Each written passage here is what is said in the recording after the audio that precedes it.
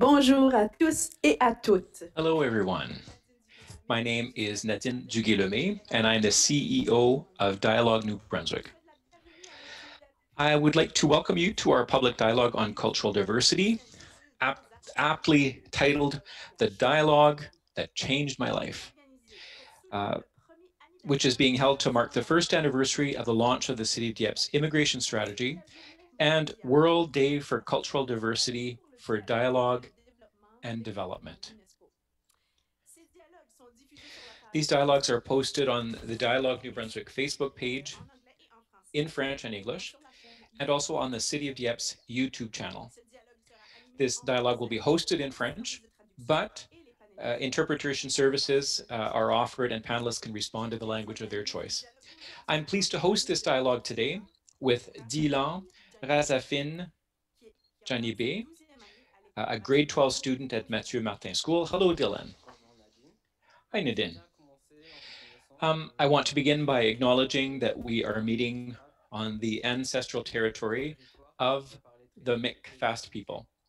This territory is covered by the peace and friendship treaties originally signed in 1725 by the Wolastoqey, Mi'kmaq, and Passamaquoddy peoples and the British Crown. The treaties were not intended to deal with the cession of lands and resources, but rather to recognize Wolastoqey, Mi'kmaq, and Passamaquoddy title, and also to establish the rules of the relationship that would continue in the long term between the nations. We invite people who are listening to us via Facebook to indicate in the comment section which non-ceded territory they are joining us from today. Uh, I would now like to invite Yvon Lapierre, Mayor of Dieppe, to say a few words. Thank you, Dylan. Hello, everybody. I am very happy to welcome you here in Dieppe as part of this public dialogue on diversity. Your 2020-2024 strategy for the city, uh, the dialogue strategy, is based on the priorities of City Council and uh, exp expansion Dieppe and also the partner. I was I almost forgot this, but our local partnership in terms uh, uh, in immigration. Our role as a municipality is to tailor our services to allow for diversity and to promote multicultural dialogue in the community. And that's why a public dialogue such as this today is very important you will also have an opportunity in the next few days to share your vision and your proposals on the Dialogue Dieppe or Dieppe Dialogue platform.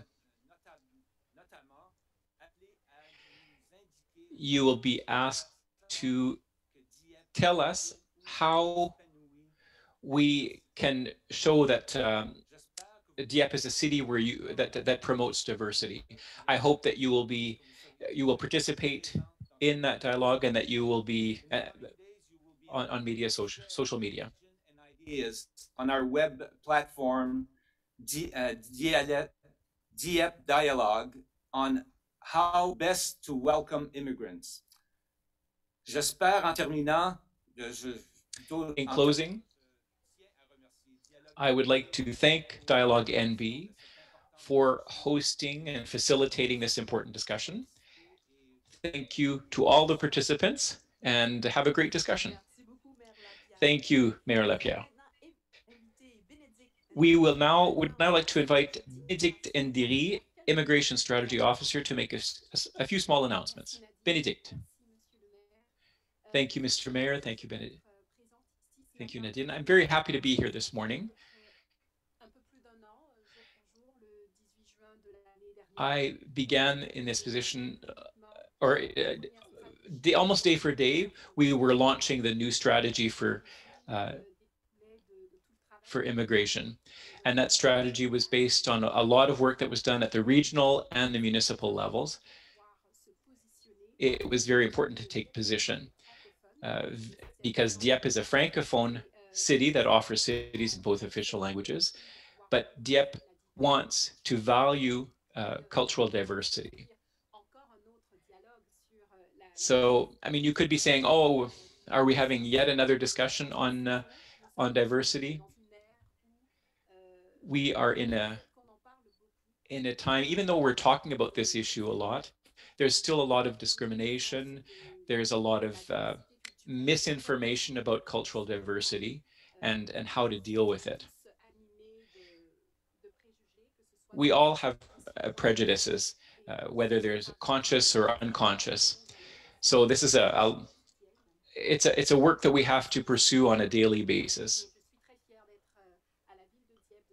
I'm very proud uh, to work with the city and Expansion Dieppe to value uh, cultural diversity in our great community. And when we talk about cultural diversity, uh, we're talking about culture. The city of Dieppe is the largest French-speaking community outside of Quebec. So that's a that's an, a point of attraction or an, a, a feature that might that can attract francophones in New Brunswick, in Canada, and at the international level. Two days ago, we inaugurated our, our new headquarters, the CAFI headquarters, here in Dieppe. So we're very proud of that new center. It's part of our strategic vision for immigration. Uh, international students and French language immigrants are groups that have very specific needs. We're in a minority language setting, and that is why we continue to focus on those priority groups last year, uh, starting with our strategy and, and even before that, uh, there, there are a number of projects that are underway. We've been working to have a better representation of visible minorities, uh, Indigenous peoples, uh, persons with disabilities, women. So we continue our efforts uh, to, to highlight those groups. And when we launched the strategy on immigration, we were in, uh, we, we were just getting into the pandemic. Now we're starting to see the end, the, the, the light at the end of the tunnel, which is an excellent news because we are going to be able to deploy things more and more. Uh, there are, and we'll be able to use uh, important dates, the International Day of the Francophonie, the International Day of, uh, that, that we mentioned earlier on dialogue the World Day for Cultural Diversity for Dialogue and Development. So we there are a lot of activities and projects to come. Uh, Mayor Lapierre was talking about this earlier. So we are going to be launching a survey where you can express your views on, on how we promote uh, diversity, whether at the library, city hall, and other so how can our facilities essentially promote, uh, better promote cultural diversity? So that, that survey will be available for a two week period and you'll be, you're, you're all invited to, uh, to share your views. I'm not going to take any more time. I would like to uh, uh, give the mic back to Nadine. Thank you once again uh, to the city of Dieppe. Thank you, Benedict. I, it is my great pleasure to introduce the panelists who are joining us this morning. Muriel Berda, recruitment coordinator, Mourad Badiro, a master's student in public health at the University of Montreal, Lou Lavanchy, student uh, 11, uh, grade 11, Mathieu Martin.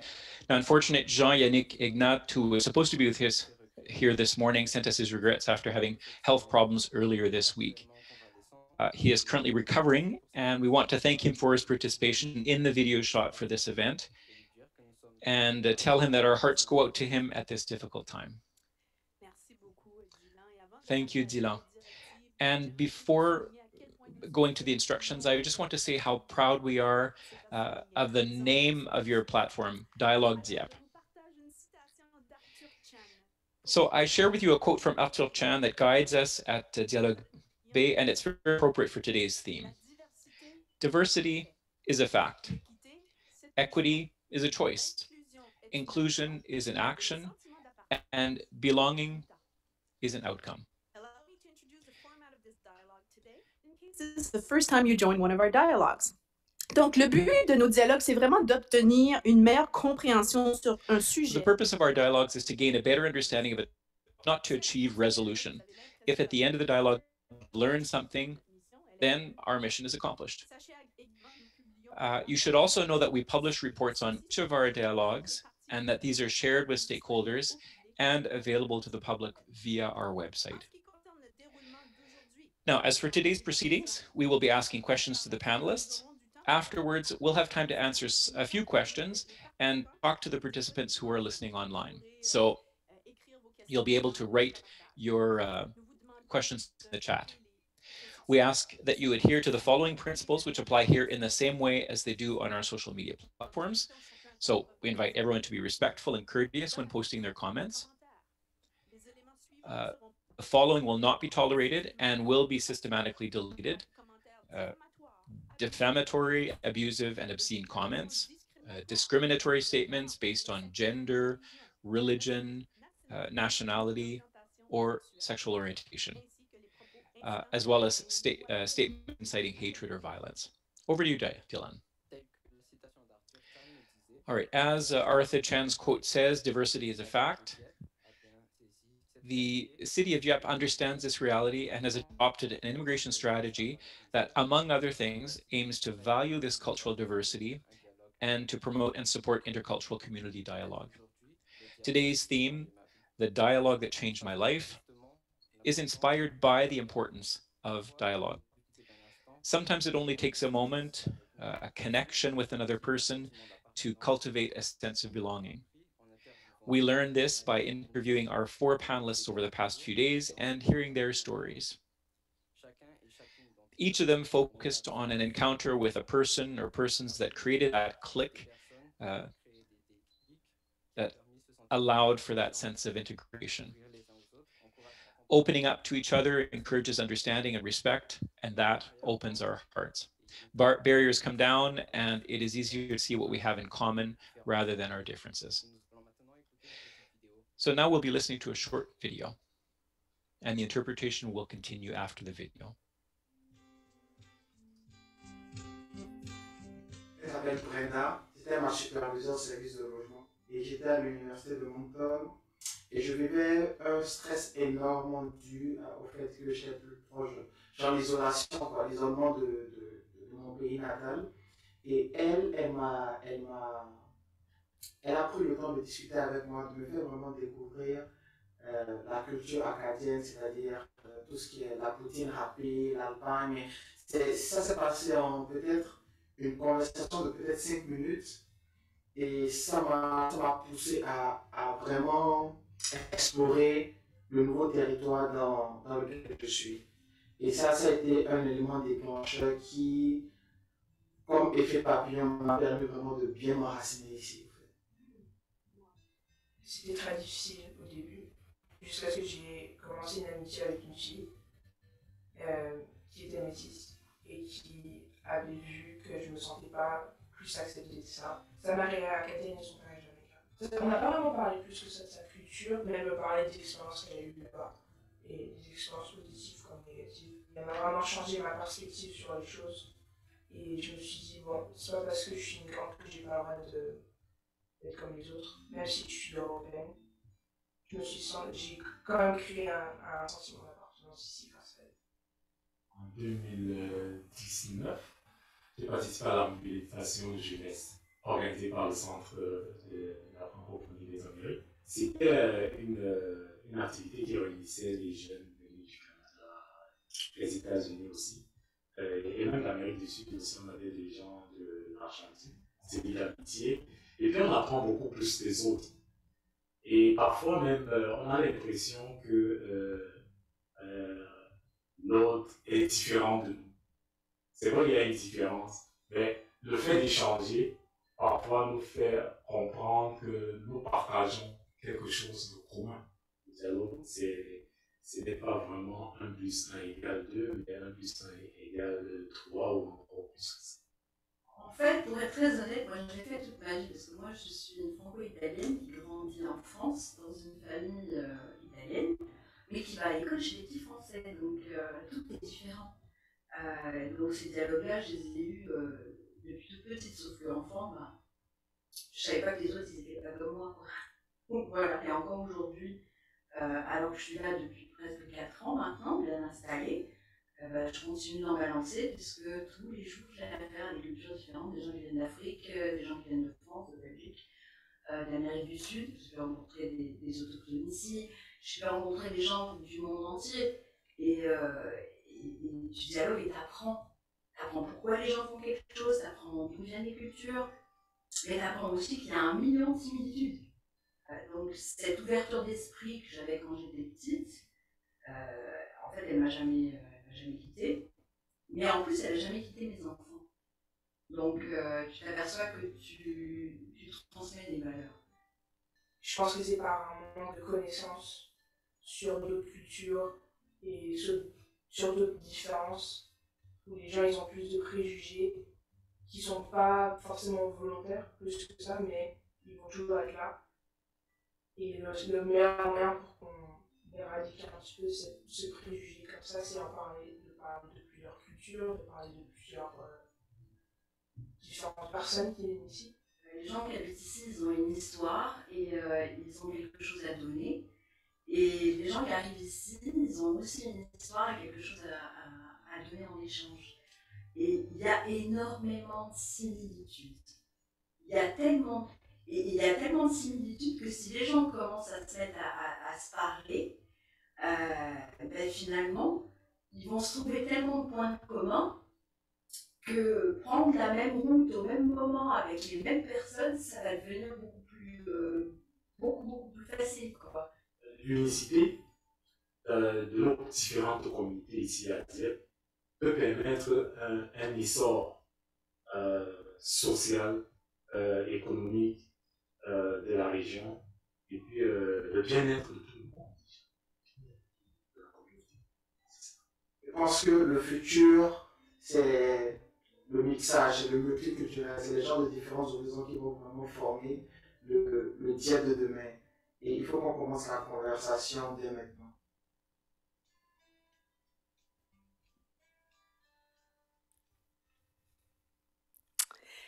Quelle belle vidéo. Merci. What a beautiful video. Thank you to, very much to our panelists who are here with us today and Jean, Annick, Ignat, it really sets the tone. And that's what's going to help us uh, start the discussion with you today. I love that Jean Yannick had said one plus one equals three, and it's true that there's a multiplying effect. And Murad, uh, you were talking about the, the Dieppe of tomorrow. I would say that when when we look at the room around us today, it's that it's already, we're already there. It's the Dieppe of today. So thank you very much. The first question that we have for you is very simple. We want to learn more about you. So can you summarize in a few minutes who you are and what brought you to Dieppe? Muriel, let's start with you.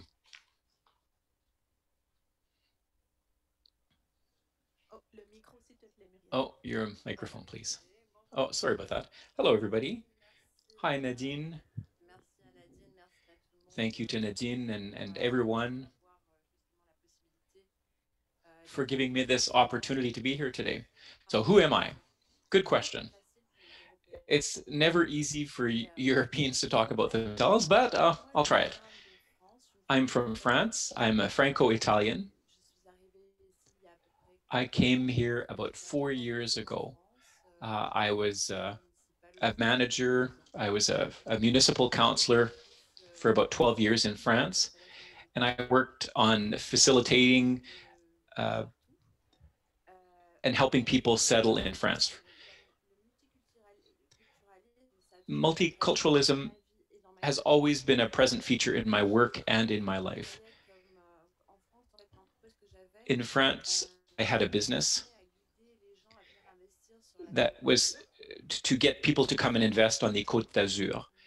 And uh, most, most clients were not French and they were from uh, all around the world dubai united states uh, other countries in europe. And i always found that very enriching.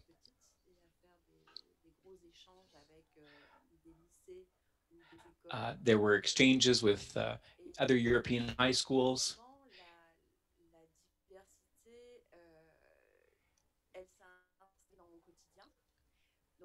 At one point, diversity becomes part of your everyday life.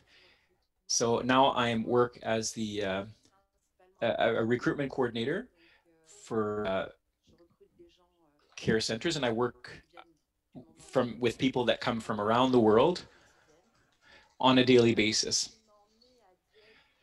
So what brought me to Dieppe and, and to New Brunswick? Well, the first thing is, is the people here. Really, it is the people. There's a community spirit, there's an openness, and there's a happiness. Uh, there's a lot of laughing uh, in my job. Uh, so that's what brought me here. And cultural diversity as well, to be able to being able to be who I am. Some someone with a background in, in, in various countries. And, there are a lot of people like me, so I feel good here. There's openness, and, and that's why I left France uh, four years ago. And I also wanted my children to experience other things. Now, in terms of La Francophonie, Dieppe is, is a very representative community. Uh, Mayor Lapierre,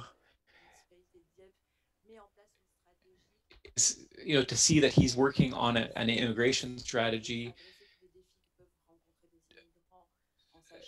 geared to uh, dealing with the difficulties that immigrants encounter. It's important. And, and I feel at home here already. Thank you, Muriel. Murad, your turn. Tell us about yourself. I came to Canada on August 28th, 2013. And I came to support my sister. I was I felt extraordinarily welcomed here in New Brunswick. And and the point, my goal was just to come for my holidays and then to go back to France, but I ended up staying. I studied at the University of Moncton. I got a, a bachelor's degree in, in kinesiology. And now I work as a a professional DJ. And that has allowed me to, uh, to discover a lot of things in New Brunswick. I used, I used to live on Gauvin Street. And when I moved to Montreal for my master's, I became a defender of New Brunswick, a promoter of New Brunswick.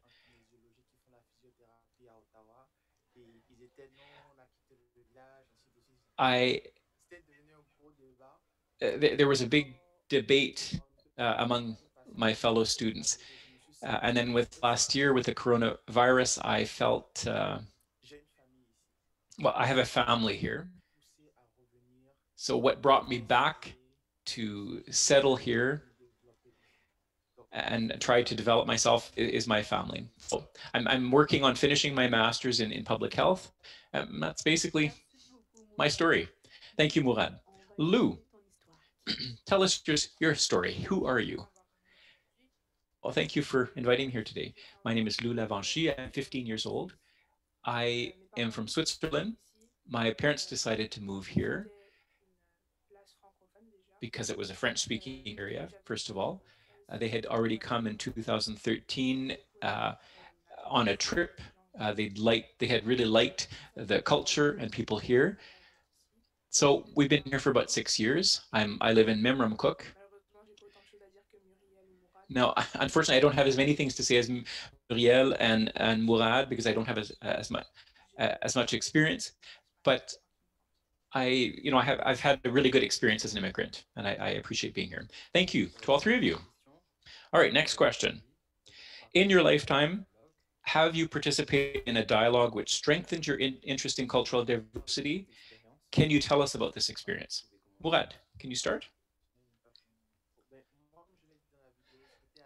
Well, uh, I had my my conversation was with Brenda. She was my supervisor at the housing department, and I say this to everybody. I think everybody has heard of my my story, but but it it really uh, impressed me. If I had not had the chance to discuss with her I may not have taken the route that led me here. She took the time to talk to me, to help me learn more about the local culture. And so Brenda was really the, the trigger for me who allowed me to open myself up to other people. Uh, Olivier Barrault, for example. And I'll just share a little anecdote here. We were in class, I think it was Mr. Roger Leblanc's course in, in uh, sociology, and we were supposed to wear pink that day, and I decided to wear pink, and Olivier did too. And so we finished the class and we left. And I, I asked him, I said, well, let's go take a bite. Let's go get a bite at, at a restaurant. And we went to the buffet and everybody was surprised to see a black and a white man together wearing pink, uh, eating together. So we were at our table and everybody would, it was coming up to us and it was really funny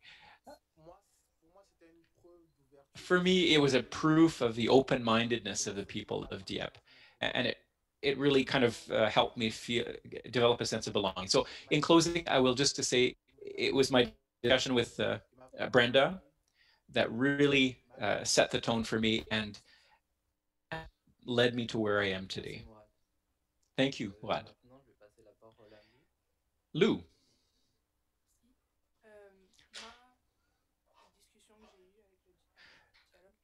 well, the discussion for me was with a girl, as I also alluded to in the video. Uh, I, I used to be going to, a, I used to go to a school here in Memramcook, and I was kind of uh, integrating. Things weren't going very well, if I'm if I'm going to be honest. I started talking to this girl uh, the last year, and and we started kind of chatting more and more she had had uh, negative experiences because she was a mixed uh, race as well. She had struggles. She, and so I talked to her about how I was feeling, the concerns I had, and she really opened my eyes and she proved to me that I could integrate into the community without other people's permission. She really helped me with that. And I will never forget that. It was a great experience. Thank you, Lou. And let's end with um, uh, Muriel. It's going to be a little difficult for me to think of one particular moment. There, are, there, there have been many moments. Uh, and I have a lot of these experiences every day as well. If I think of what really changed my life, it was right at the very beginning when I arrived here. I was at I, was at the Dieppe market as a client, as a customer. And I met Suzanne Levi Peters, who was there. So Suzanne is Micmac. She's from Elsipogtog. And we started talking. Now, as you as you know, as you probably understood already, I'm a very curious person. So we started talking, and she taught me two things that I knew, that I already kind of knew. She confirmed. So she explained the encounter, the meeting between the Acadians and the Micmac. Uh, she would explain to me the, the Micmac flag. And, and it talks about connection. And then she talked to me as well about, we were talking about colors and artists and, and, and things like that. And she explained to me that uh, regardless of our the color of our skin, we all represent an element, water, fire, earth. And that if you don't have all of that together, you can't operate, you can't function. And did I know that before, yes, I did, sort of. But the fact that she talked about it, and maybe, you know, that her, she showed me the visual, um, uh, what, what she showed me confirmed and strengthened that understanding in me. So, and it went even a bit further. Um, we we started the, our discussion kind of her um, led to the organization of or to the opening of an office in Shediac. So I've learned a lot of things, but I you know every uh, you know a simple dialogue, the simple impulse to go and ask and learn more about some somebody. Um, you know, this has kind of flowered into a great friendship that is very dear to me. Uh, I discovered a different culture, different way of doing things, and uh, and it adds to my body of knowledge, my knowledge of uh, l'Acadie and uh, essentially the place where I live. Merci beaucoup à vous trois. On Thank you, all three of you. We're going to go down a little deeper now.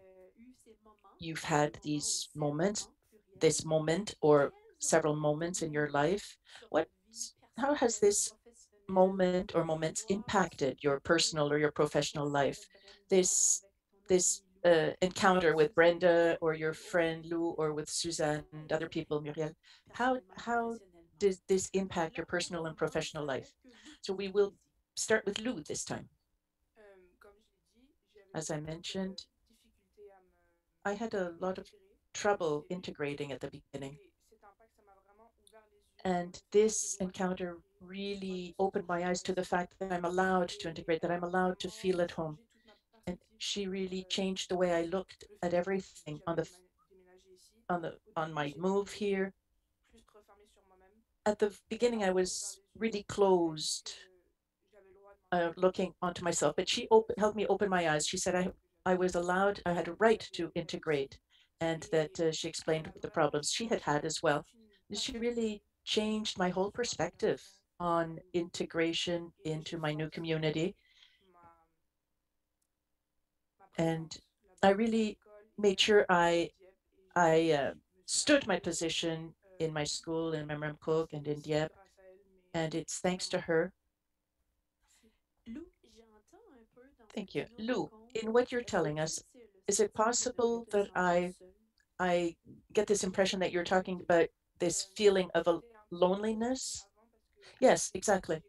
It was early, it was difficult at the beginning because I started in a, a new school in grade five, and then I had to change schools again. And of course, I had just changed countries. So I felt very alone. I had no sense of belonging.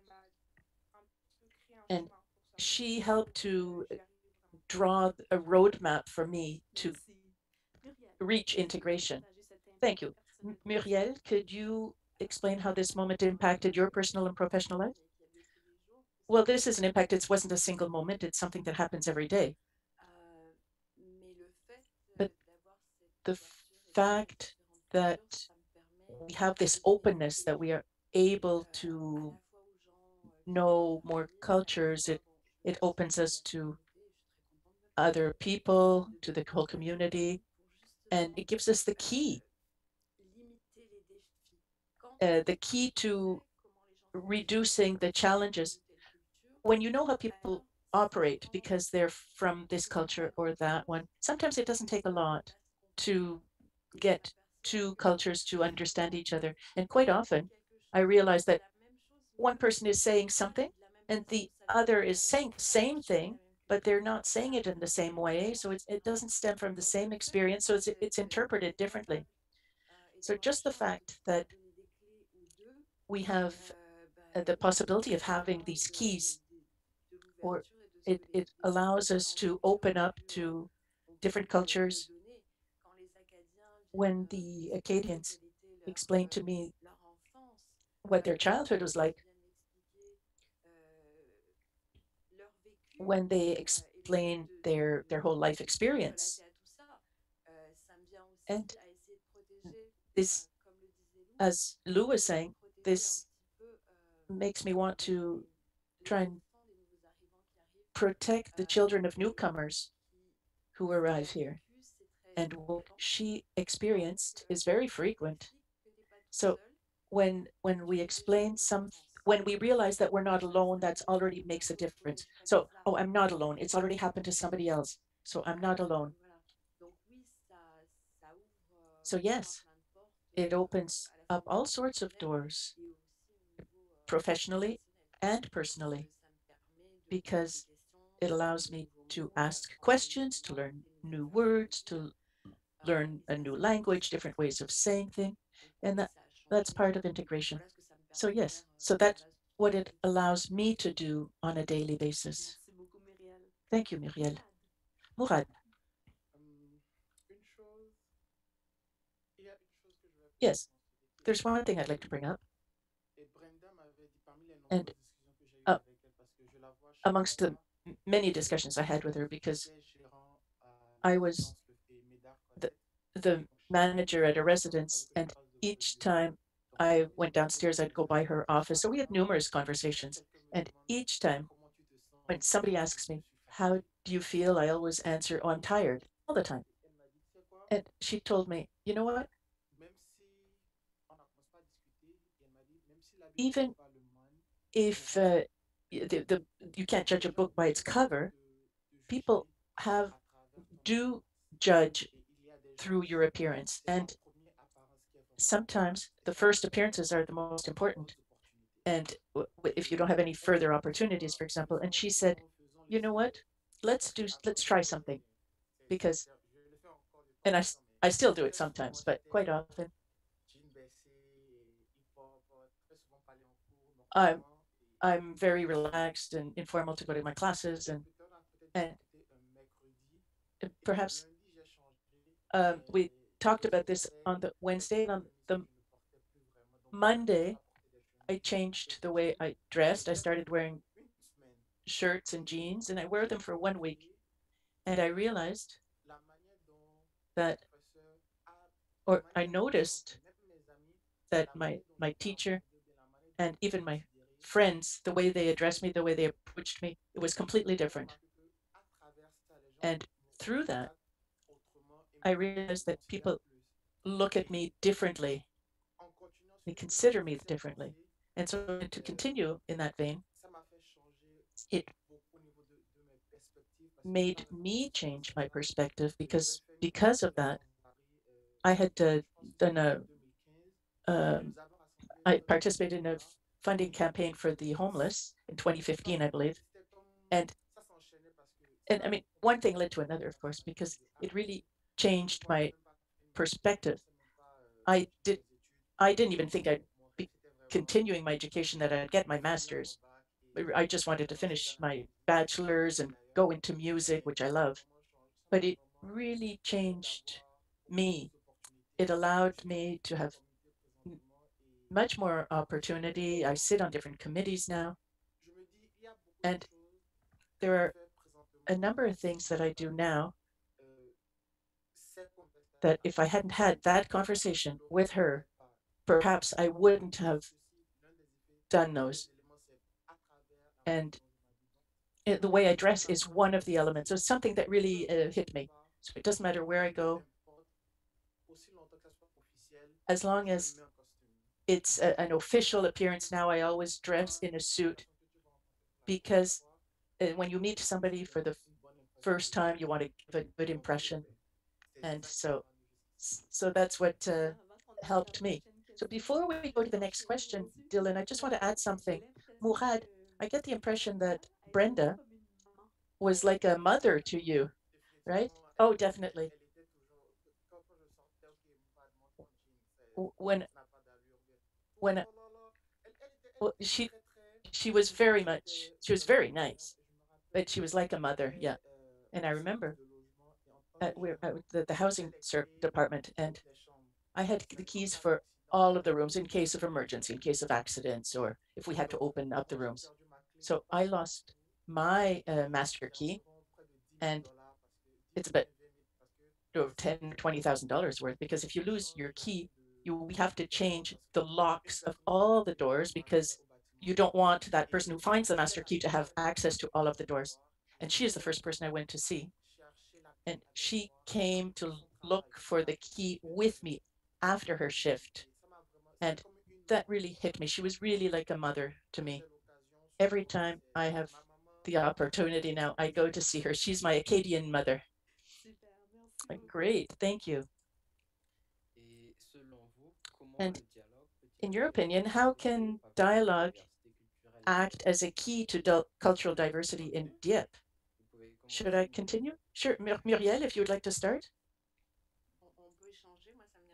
Oh, we could change the order here. I don't mind. How does uh, dialogue, how can it act as a key to cultural diversity? Dieppe is so dynamic, it's so vibrant. Uh, it's growing so quickly that through cultural diversity, I think, uh, and I can see this uh, on a professional level, when you have a number of different cultures that have different needs to a certain extent, it it gives you access to different uh, resources, human resources as well. When you integrate different people into your business, into your development, you win twice. It's a double victory because, of course, you have access to different ways of doing things. You have access to different things that will help you move forward. And leaving your comfort zone is never easy for anybody. But be, other than that, you also have access to inner knowledge. What what is is how do I address new people? How do I do to meet the needs of that culture? Should I speak in a certain way or in another way? What can I exchange? And so we're creating wealth, personal wealth and population wealth. This wealth for the people who arrive as well as the people who are already here, but we're creating this incredible wealth on the economic level by hiring people from elsewhere, by proposing different things.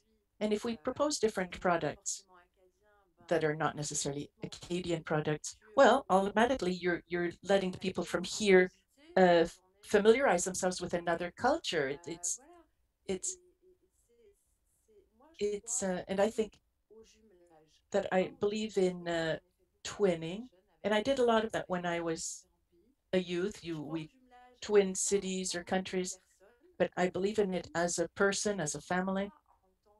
But I also believe in it uh, within businesses on on a volunteer basis, because that's that's how you get the information. That's how you discover, as Lou said.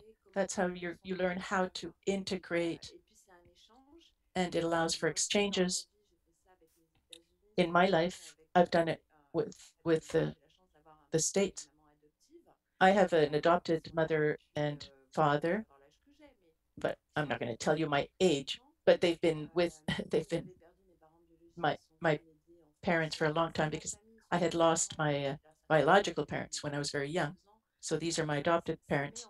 But it sets it creates links that like Mourad said, that can last for a whole lifetime and it can make things easier for a whole lifetime. Thank you, Muriel. I'm now going to ask Mourad to give us his thoughts. Well, I don't know if it's the same thing for Benedict in the Ivory Coast, but for us in Benin, when a person who's older than you speaks to you, you lower your eyes. You don't look at them directly. And I had asked for a meeting with my professor, and my professor was explaining the class to me, the requirements of the class, and I had my head lowered Eh, because I didn't want to look at him directly out of respect.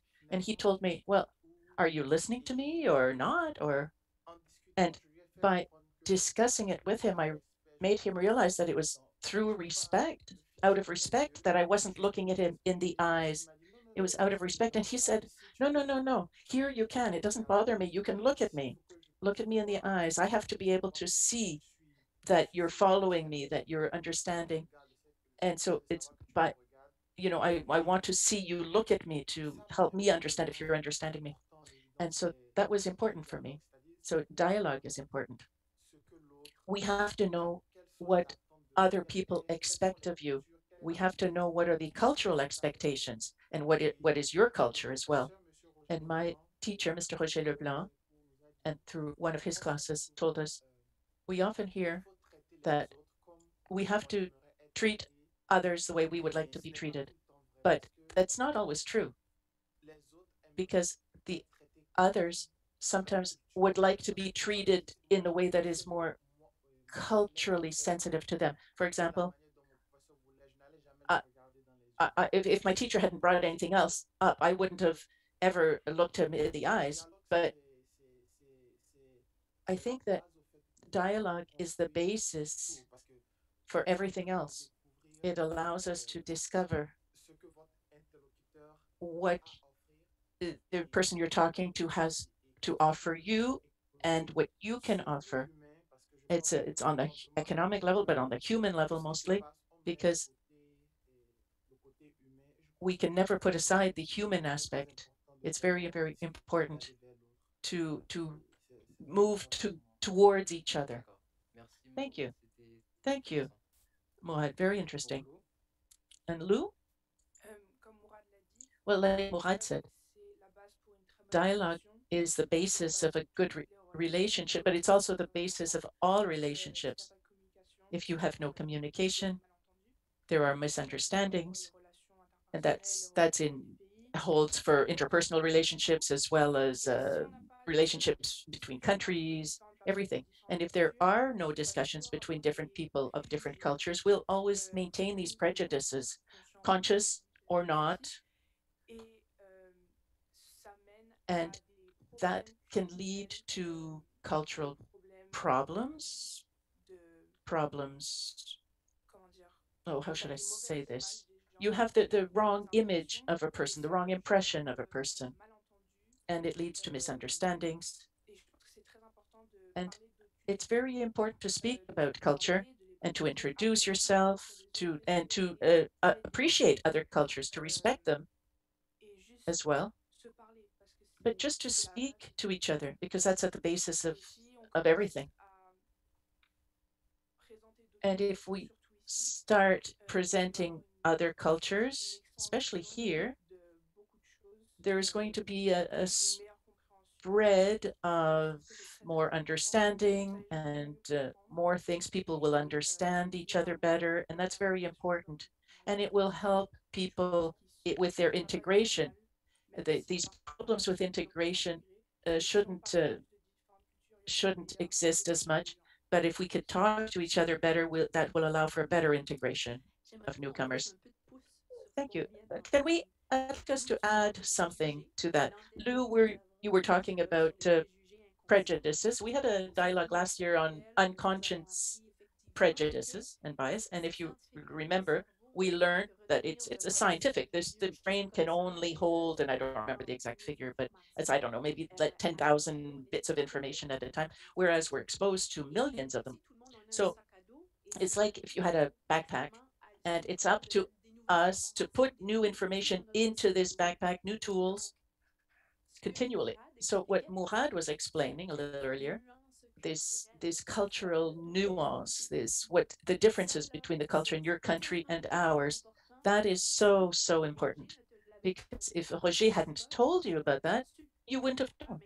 You wouldn't have known that here, yes, we do look at each other in the eyes.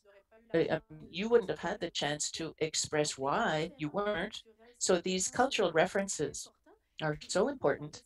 And I'm just wondering, do you have any ideas on how we could uh, share these cultural differences more and better with the people here?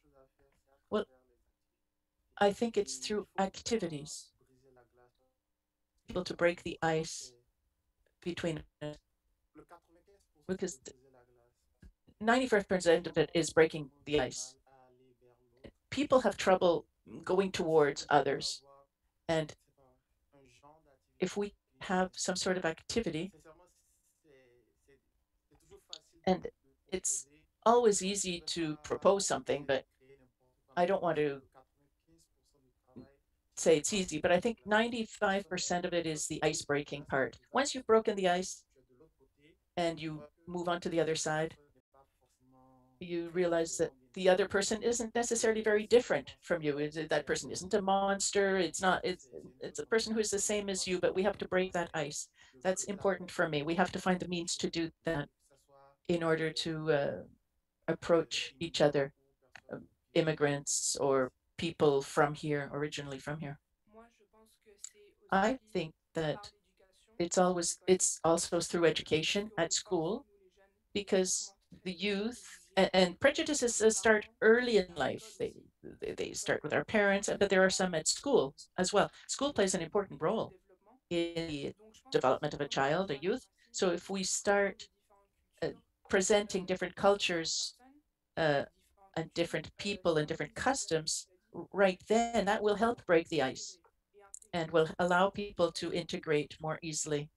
And we have to pres present the uh, indigenous cultures and customs as well here, and that's important for them. And we have to present other cultures, uh, cultures from South America, from Africa, from everywhere.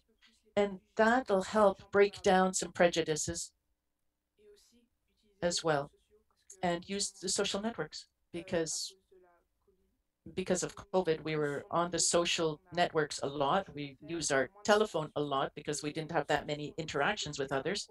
So our devices and social media are our first place of interaction. So I think it's important to raise these issues there and at school because that's really at the root of everything that we think and all our biases and prejudices. Muriel, I would like add you to add something, but first I just want to add something myself. And Dylan, I would also ask you to participate and to tell your story as well, or just to add to what you're hearing here, because I think Lou and yourself are about the same age, right? So, well, okay, let's do that. What do you think about what we've heard so far? Well, I think it's very interesting, especially when we talk about cultural diversity. And it, it's very present, of course. And as a matter of fact, in my experience, it was it was very difficult to integrate because it's not the same communication. It, it's not the same language. I mean, we speak French, yes, but there are different expressions. There are a lot of anglicisms in the French here, so it communication was complicated right from the start. But just through speaking with uh, people here, the Acadians, oh, different people. I think it was really interesting to, to learn more on their culture. I had a question for Mourad, though. When you talked about lowering your eyes when you're talking to an older person, how do you feel today when you're talking to an older person? Are you comfortable now? Uh, are you comfortable speaking to somebody? Do you look them in the eyes? Well, it depends on the context. One thing I did learn was that it's it, professionally when I meet people, when I go to meetings, I uh, do uh, look people in the eyes. But of course, when I go back home to Benin in Africa, I have to apply the appropriate culture. If I'm going to go visit my uncles or my grandparents, I have to do it in uh, the culturally appropriate way. So it's one thing to be aware of different cultures, but you have to know when to apply what. So when I'm here, I'm, I'm not uncomfortable necessarily, but at some points I still have that automatic reflex.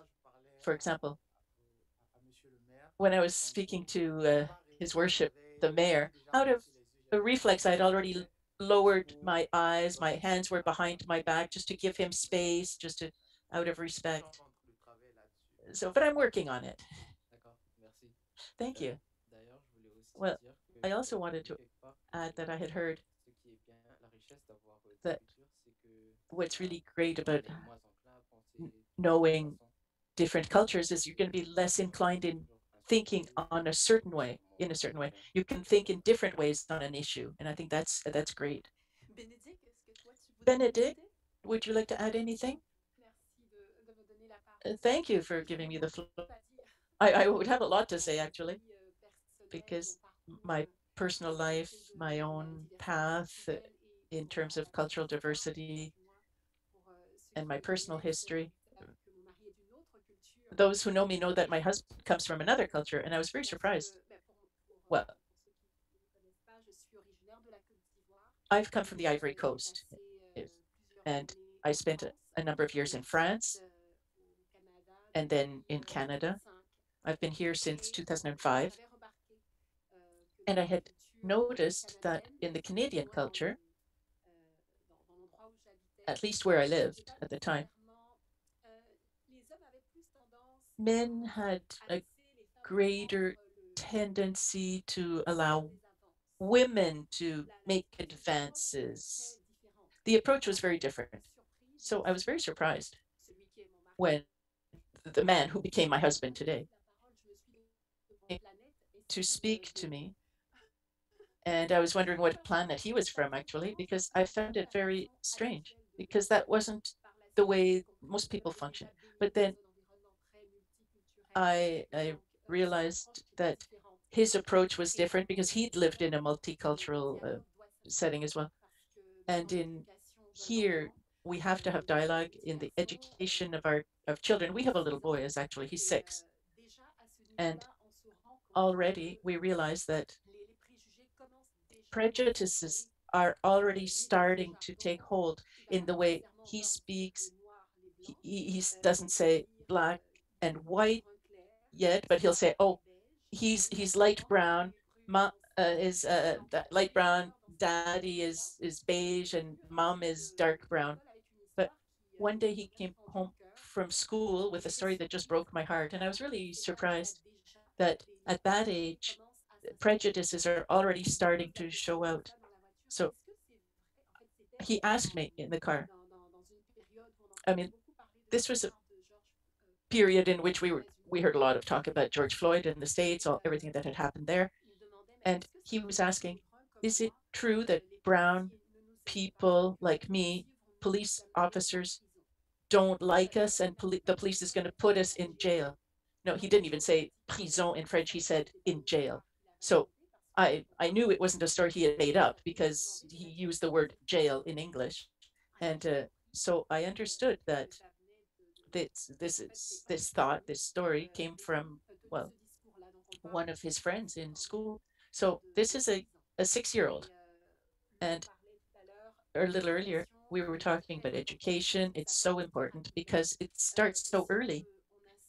If we don't if we don't have a certain uh, if, if children don't hear hate speech they won't invent it. They won't know about it but they're like sponges, right, at the young age, and they absorb everything that they hear around them, whether it's right or wrong, whether it's good or bad. They they don't learn to filter at that age. But when something they, they hear something in their family, or the well, the it starts being integrated right away. So dialogue is very important because right from a very young age, we have to start uh, being able to talk about it. We we can't just say that things will just develop naturally. No, they won't happen naturally, like Mourad was saying. Naturally, he's he's not going to look at somebody in the eyes. I mean, it's going to be an effort, a conscious effort each time. And that means we have to act proactively and have dialogue. It starts with dialogue, but it includes all sorts of other things. We can implement other activities. That's the starting point. But we have to start from the principle that whatever your culture, nobody has any has bad intentions at the at the start. So everything starts from curiosity, and we have to learn about the others. And dialogue is important because even if you speak the language, like Dylan was saying, even if we speak French, the expressions are different. Uh, they're they don't refer to the same thing. So dialogue is really at the basis. And so I really like the work being done by Dialogue NB, really. So I, I would have all sorts of stories to tell you, but but we we don't have all day, perhaps uh, during another dialogue. Yeah, but this is the time where we're supposed to have these uh, discussions and exchanges. So once again, once again, Dylan, please speak out. Eh? I'd like to come back to the uh, schools and the school programs because people of my generation and others will remember this that we didn't have the chance of having a cur curriculum. Uh, uh, in our school program, we didn't learn the story of the indigenous peoples. We didn't learn about slavery here in New Brunswick. We tend to think that because we're Canadian, we're we promote diversity and so on and so forth. And all of that is true, but we can't deny our history either. And people like ourselves who, when we grew up, we weren't exposed to all of these things. And like you were saying, and there these prejudices uh, we don't always know where they come from, but they are they're they develop at a very young age. I um, grew up in the the Acadian Peninsula. I mean, I we didn't really have much interaction with uh, the uh, uh, indigenous in our region, but when we'd go south, when we drove drive through Tracadie and Neguac and so on, well, we would see them. And I would ask my parents, well, what, who are, you know, where, why are they, who are they? And my parents would say, well, no, we don't go there. We're not going there. And, and uh, uh, why, why aren't we going there? So already at a young age, I, I learned that we had to, there was this distrust and I didn't know why. So, so yes, at least now you will have this opportunity, I hope. Already you're being learned, you're learning about the uh, contribution of the indigenous in your school program, I think. And I heard the Minister Cardy this summer said that it'll be the same thing for the history of the Blacks. That'll be part of the uh, school program in the future. So it's important. So what can we do for for our youth? I mean, there are already steps being taken, but what we can do for adults and to for my for my mother, my father, what what can we do? Euh, moi, je pense qu'il faudrait essayer de toucher um, I think that we have to try to to reach out to these older people like my parents and and that we could talk a little bit about history the history in canada new brunswick uh, the history of the indigenous peoples uh, black history as well. There there there was slave uh, slavery that occurred in canada so I, I think that's very important you know, I think we tend to, this, you know, to say, oh, these these older people didn't have education, but I mean, they have to. We have to make that education or give that make that education available, and that that will have a snowball. Uh, because it has a, a snowball effect when you when you have prejudices they tend to grow from generation to generation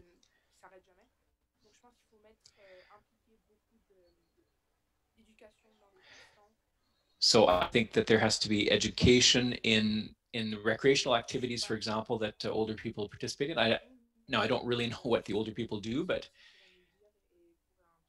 but I'm sure that they could tell us, and so there could be some uh, some actions in in that side. Muriel, go ahead. Yes, well, listen, I, I work in a nursing home with older people, with seniors, and what you said made me think of something. You know, in these centers, in these nursing homes, when people of color arrive,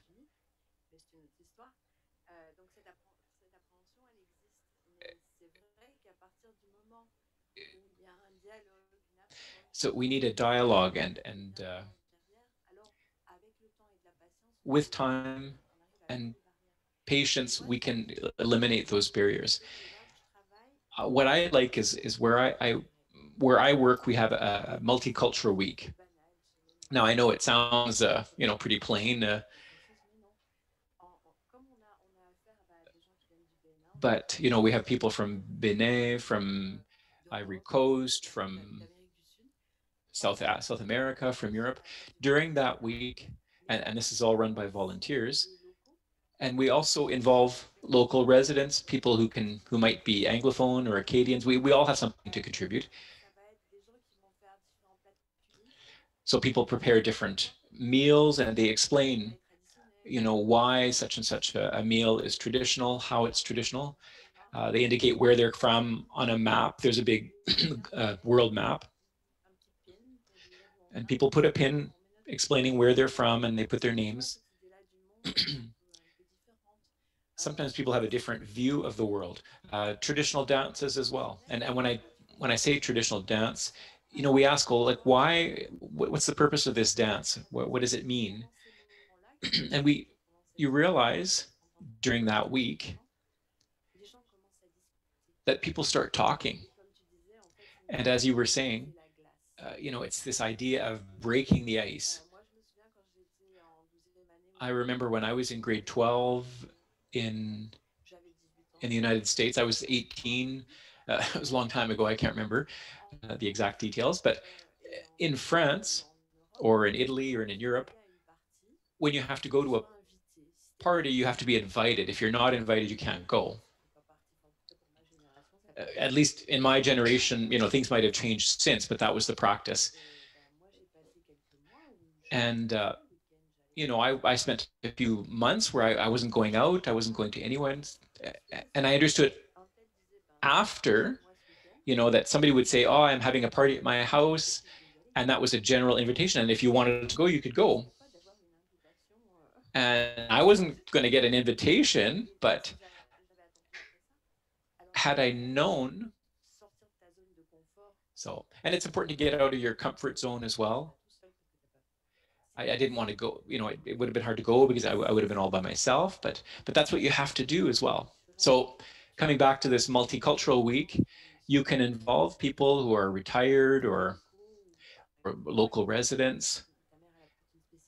You know, your mother might have a special a specialty that she can, and you can ask her, well, can you come in and spend a bit of time talking about what you do? and there will be people talking about other things. And, and uh, well, there's the common activity. Uh, everybody ends up eating, and I think we all like to eat. So, so and that's that becomes the common, the, the shared uh, aspect.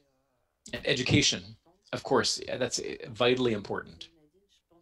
And as you were saying, Nadine, I think uh, our children or my grandchildren and my children too will have an opportunity to attend classes with a, a, a, diverse community and they won't be afraid of people because they'll know oh well, that's such and such a boyfriend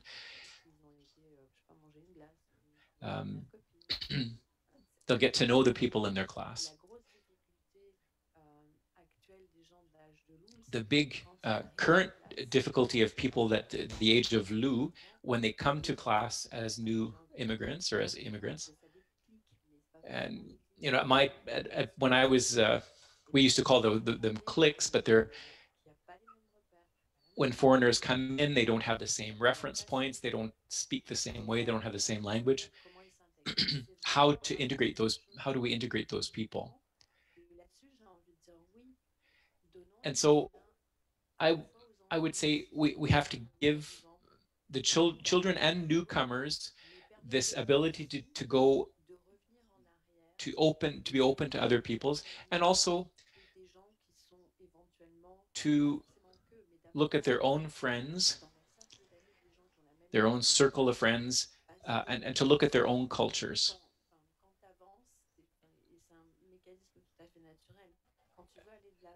when, when you want to move ahead, if you want to make uh, progress, you have to kind of come back and take a look, take a few steps back and and look at what's happening, and then and, and that can apply to the education of children. Often it's you know it's it's the parents who have decided to immigrate. The children didn't have any say in the matter at all, so they need to understand that need. So there's lots of things we can do. Uh, pairing, uh, give the opportunity of, for families here to share with someone, uh, pair them with someone from elsewhere. You know, you were talking about cultural differences. Uh, you know, I do it this way. Why are you? Why do you do it that way? And you know, I have an opportunity to work with people that I can go and ask if I say, you know, if I say such and such a thing, would is it would it be acceptable? Is my attitude good? We all need that kind of information on both sides. I just want to add to that. From a very young age, I was always taught to that, that, that men were the strongest, stronger than women. And I grew up with that belief just on, until I was about 15 or 16 and then I started developing my own ideas. But right now, and then this is my, I'm talking about my personal experience here. Uh, there was there's still this belief that women can't occupy the same position as uh, as men. But when I look at my mother, when I look at my sister and other women that I know, I'm I'm forced to realize that women are are sometimes even stronger than men in, in a number of areas.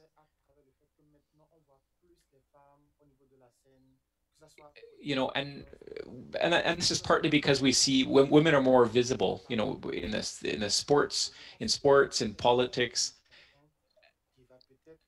and I think that one thing that's really important that might promote uh, greater dialogue and to, to reduce the fear that we have to,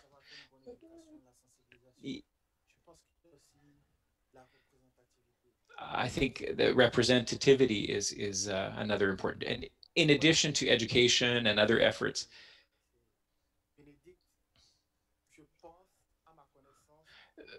Benedict is the only person of color that I know of who works in who's working in Dieppe. And you know, if I was in if I was coming to Dieppe and I was a young boy and I wanted to go to the library and all I saw was white people and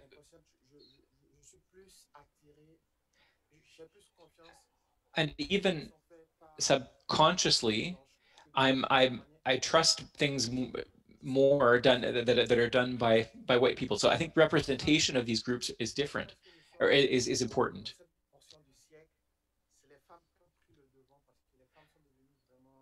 Women now have become uh, have have taken on a more uh, important more important roles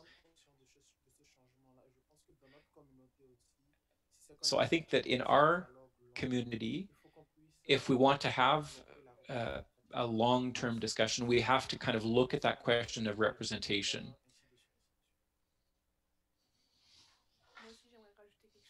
I, would like to add something as well. I, I like that fact that you talked about representation. There's a huge problem in, in all industries, uh, film, Eh, businesses. There's a there's a huge lack of representation whether it's for women people of color people uh, that are part of the lgbtq community. I, I saw a story that about a young person that who is non-binary and it was only when his parents saw a film about non-binary people that they were able to kind of start talking to their child and the same thing applies to women. Uh, the same thing for people of color. It's, it's very important to have that representation. Even sometimes if it, it might seem a little bit artificial at the beginning, I think that we need to normalize it and standardize it. Um, now, I want to address a different point here as well. Muriel talked about groups at school or cliques, and when immigrants come, all the, these cliques are already formed.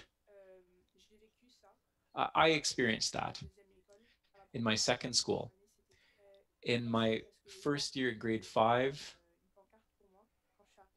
uh, they had prepared uh, like a poster for me, and it was really nice. They had, uh, they really made an effort to integrate me, and that was but when I went to, to grade six and grade seven, people were a little bit more closed. And they had already created their cliques, and uh, I was a, I, I, I had trouble getting into those groups. And so, in my experience, it's very important that questions are asked, uh, that, that we ask people questions, that we that people show interest, so that newcomers feel um, included. Tu veux ajouter là-dessus? Thank you. Dylan, would you like to add something? Yes, speaking of these groups in Madagascar, and not only in Madagascar, I don't think, but in different schools, we're used to classes of 30 students and uh, you stay with them until the end of the school year. But I I think we, we become a closer knit group if there's only 30 people in the same class. It's easier to make friends in the classroom in the same class. But here, students have to go out of their way to make friends. You have to change your classroom uh, every year. You don't see the same people in your classes, and that makes it difficult. And that's what I like lived through. But in terms of integration, I also use my experience because I used to hang out with students who already had the key and uh, be, because I hung out with uh, other students who were of a culture that was very different from the Canadian culture, I I didn't really learn that much about Canadian culture, but it would be important to learn about the culture where you are living currently than just focus on those that you're familiar with. I completely agree with you, but that and thank you for pointing it out. Perhaps I wasn't very clear. What I was trying to say was that in order to go towards Canadians, to approach them, sometimes, for example, if you are where you are today, it's because you were able to open up to Canadians. But you could do that by being supported in a circle of other newcomers who were experiencing the same problems as you. They had the same concerns as you. They had the same experience, the same fears. So automatically you say, okay, I'm not alone here. And that allows you to strong feel stronger. And when you're stronger, then you can not not dive in head first, but at least you put your toes in first, and then it opens up the doors to go a little further. And what what hit me was the story of one of my daughter's friends. She arrived from Colombia. She spoke neither French nor English, ended up in a francophone school. I think she was in grade five. And she understood nothing in the school. At one point, she started eating peanuts, but she wasn't allowed to eat peanuts in the school. And somebody somebody told her stop that stop that. And all all she knew had to say was yes yes. And that that went on for six months. So you know you have to let people take their place. And then at, at one point you you are stronger and it allows you to open up the doors people who are here the indigenous the acadians the anglophones they also need to take their space. They need to realize that newcomers are not a threat, that newcomers are, uh, yeah, they're not a threat. Yes, and we have to go through dialogue to get there, but we have to give people time and not try and put pressure on people. But as Mourad or Lou were saying, well, if you said this, okay, but your culture, you do it that way. Okay, why is he doing it that way? And somebody else was might have been insulted or hurt because he, but he wasn't hurt by you. It's not a question. It's not a personal. It's a question of culture, of your experience. He's doing it because, and you you understood something different. But you have to give the explanations. You have to give them. They have to be given the explanations by the people themselves, or by the school, or by people who are familiar with that experience, and that will allow everybody to move forward together. I love this idea of a roadmap because we're all going in the same direction we're we're all going to headed to the same place. We want our children to be happy, to be good, whether you're a newcomer or or a person here. Uh, we all have the same hopes and aspirations. So we have to know how to take both sides of this, and we take the same road to make sure Dieppe and New Brunswick and our lives are something that will be uh, great for all of us. Lou, would you like to go ahead? Yes, I just thought of the story. Something that happened to one of my team members on my volleyball team. But before that, I just wanted to say that it's really important to create this support system for both parties. for the, those who are trying to learn or all of the parties. You have to have a support system so that if something does happen, if you don't have a, an understanding of each other, you can, you know, get back up. And you have to create a sort of um, pillar. And uh, so now for my story, I played volleyball in grade eight with my team from school at Carrefour. And one of my team members was an exchange student. And during one of our games, oh, she, she spoke with an accent when she spoke French and English. And another person on the team, on the other team, started laughing at her. And that was just a complete lack of knowledge, lack of education. And it really, it really hurt her. And she started crying. And I could see that it really hit her hard. And we wouldn't have had that problem if that girl had had the education, the girl on the other team, if she'd had the education on different cultures, different accents, different ways of speaking, there wouldn't have been that problem if we'd had a better education. But it all comes from the parents and from the school, of course. Lou, I'm just wondering, did you or somebody else from your team, did you speak, did you speak out against that behavior from the other team members? Yes, we went to see the coach from the other team, who was her father, as a matter of fact. So we went to see him and we said, she, she did this, that, and the other thing. This is the outcome. And we feel that it is not professional at all. And he took care of it. Luckily, he didn't just ignore what happened. I mean, he was very comprehensive. He talked to his daughter. And I think he excuse, uh, apologized. I think, I don't remember, it was two years ago, but it was very ignorant of her. And it was you know, the actions of a person who was just not educated at all on, on this issue. So, well, congratulations. Congratulations for having uh, spoken out against this behavior. And I can see the way, from the way you're telling the story, I, I can see that you're you're proud of the fact that you defended your team member. Yeah, so well, I think that's the, the right thing to do.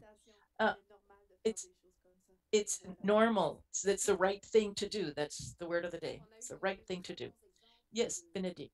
Uh, we had some great examples of actions that can be taken to promote cultural diversity. We talked about twinning. I don't want to come back on that, but it shows that we want to uh, implement certain programs and activities in Dieppe. Because in all of the stories that we've heard, and even in my own experience, we always need a family or an activity that will allow us to be a part of the group.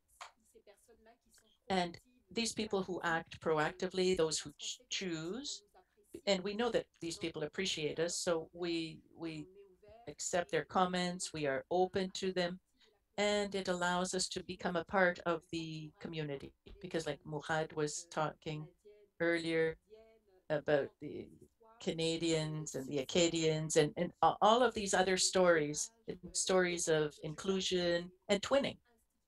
Twinning could be institutionalized as well, or in a, one way or another, it, it happens naturally, but it's it's very rare to see uh, free electrons uh, just uh, arriving at a certain understanding on their way. So there has to be coaching or supervision, twinning, or and there's other examples in the community, a better representativity. And something I'd like to highlight too is the process of economic integration, because as newcomers, when we settle down here, we need to develop professionally. We want to move forward. And of course, it's not always easy for an employer to to hire a person, knowing that there's going to be all sorts of administrative hassles. You know, the per, does the person have a work permit, first of all? Does that person have a, a study permit? How many hours can the person work per week? Does that person have their uh, their landed status?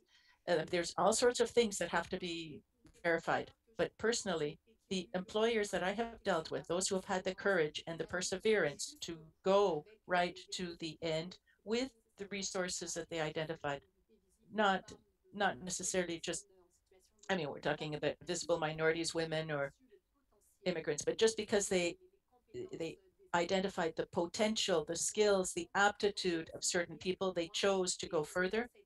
And that was my experience. When when I was finishing my MBA in international management, um, I still had my uh, I was still an international student. That was my status. And because my first employer believed in me, he helped me through the process so that I was able to obtain my uh, postgraduate work permit.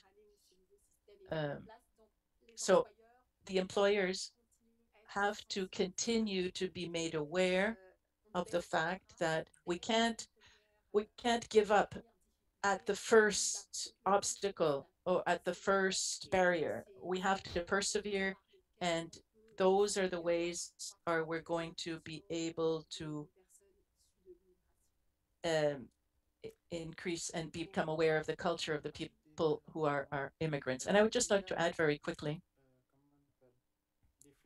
that definitely we have to develop through our work, but even culturally, because one important thing as well, for example, myself, mu music uh, saved me from depression.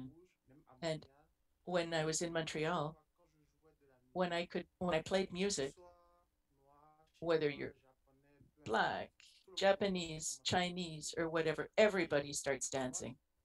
And when I played at the Rouge, I started with African nights, and then I was hired as a full-time DJ.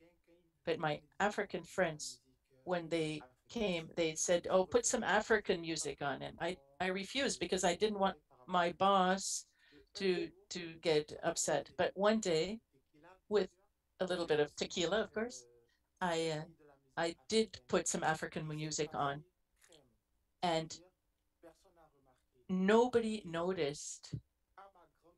And my great surprise, some people came to see me to ask me what I had just played. And it became very multicultural, what I played really overnight. And the cultural aspect was one of the ways, and uh, culture, sports, it's one way to initiate dialogue. Because one of the things that we could do in order to promote dialogue is to create cultural events and to find a formula to uh, to allow you to bring people together around a table or at an event to allow people to get the experience of another culture, to get to know the others. For example, poutine râpée. I hated that until uh, somebody brought me to what, to, what is it, the igloo? Igloo on McLaughlin? And I discovered that is really good. But one of the things that I learned was that you have to really focus on uh, culture and sports in order to uh, promote dialogue. Mourad, thank you very much. And I was just trying to catch the uh, get the attention of our dialogue team. Are there any questions or comments on Facebook? They're all just great comments. Okay, excellent. Well, it's already time. It's noon. So we're going to wrap up. Dylan, do you have a few words in uh, closing before I give my words of thanks? No. Well, thank you. Thank you warmly to all of my panelists, Muriel, Mourad, and Lou. It was a true pleasure to hear you speak out this morning. You were full of ideas. You opened up your heart. You talked about your personal experiences. Thank you. It was very much appreciated. And thank you, Dylan. We're a round of uh, an applause for Dylan. Congratulations. And when I have co-hosts like this, I, I remember it. So I think you've just been recruited for a number of other dialogues. Now, obviously, I'd like to thank Benedict, Expansion Dieppe, and all the great work you do through immigration and always thinking of, remember that we're here to support you. It's really a pleasure for us to host this uh, dialogue today. And thank you, Sean Daigle, uh, for technical services. And we're, we always feel uh, comfortable when Sean is responsible. So thank you to France Bouton for the video and everything you've done on uh, Twitter. And thank you to our interpreters who I'm sure have done an excellent job.